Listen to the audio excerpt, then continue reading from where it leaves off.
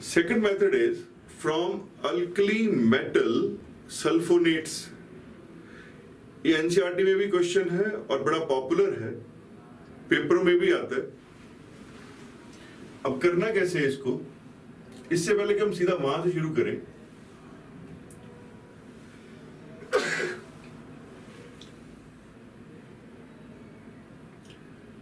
आप देखो, ये आपके पास बेंजीन है। जिस एच ने रिएक्शन में पार्टिसिपेट करना है, वो शो कर दिया इसमें ऐड किया सल्फ्यूरिक एसिड समय बेटर आ जाए, इसलिए ऐसे लिख लिया। बना तो वही H2SO4 तो जो पहली रिएक्शन है, वो तो हम सल्फोनेशन कर रहे हैं। और हीट यहाँ पे कहा करते हैं? अप टू 80 डिग्रीज जो स्टैंडर्ड कंडीशन है फॉर सल्फोनेशन तो यहाँ से वाटर बार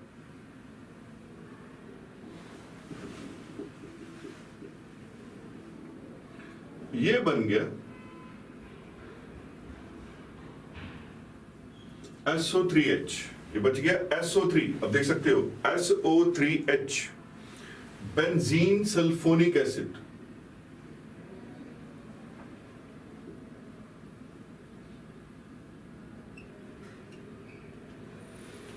benzene sulphonic acid इसका IUPAC name benzene sulphonic acid है। This should be one word name क्योंकि आगे बोर्ड नहीं है तो ऐसे लिख रहे हैं। बेंजीन सल्फोनिक एसिड व्यू आपको बेटर नज़र आए। Benzene sulphonic acid sulphonic acid में नेचुरल गैप है। आगे इसमें NaOH डाल दिया।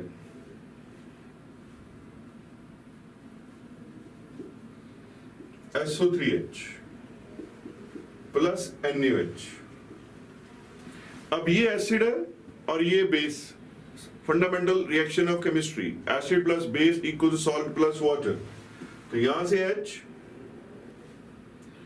और यहाँ से ओ एच वाटर बार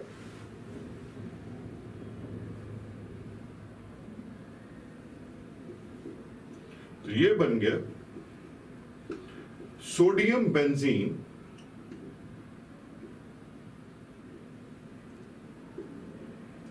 sulphonate, sodium, benzene, sulphonate. ये बना alkali metal sulphonate. Practically method यहाँ से शुरू होता है। लेकिन मैंने एक स्टेप पीछे से किया कि समझ अच्छा आए। अब जो एक्चुअल मेथड है, इसलिए हम क्या करते हैं, यहाँ पे स्टार डाल लेते हैं। क्योंकि ये इस मेथड के लिए रिक्वायर्ड इक्वेशंस नहीं है। पर बेटर अंडरस्टैंडिंग के लिए ज़रूरी है कि हम पहले ये दो स्टेप भी लिखें। अब हम एक्चुअल मेथड पे आगे।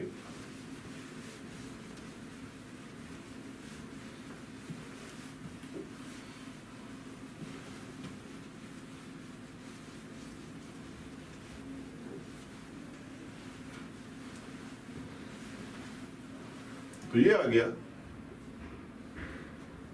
अल्कली मेटल सल्फोनेट जो अभी हमने बनाया, इसमें भी NaOH डाल दिया। और हीट किया 300 डिग्रीज पे टू NaOH तो वैसे ही समझाने के लिए, दोनों NaOH अलग लिख लिए। जैसे मैंने पिछले मेथड में किया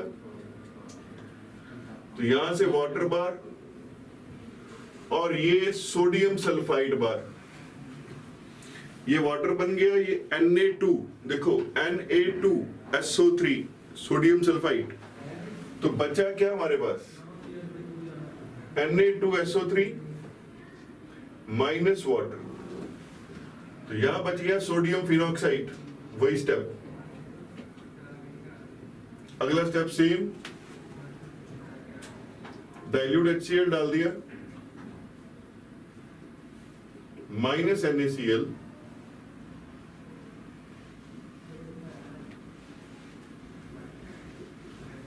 तो ये बन गया फिनोल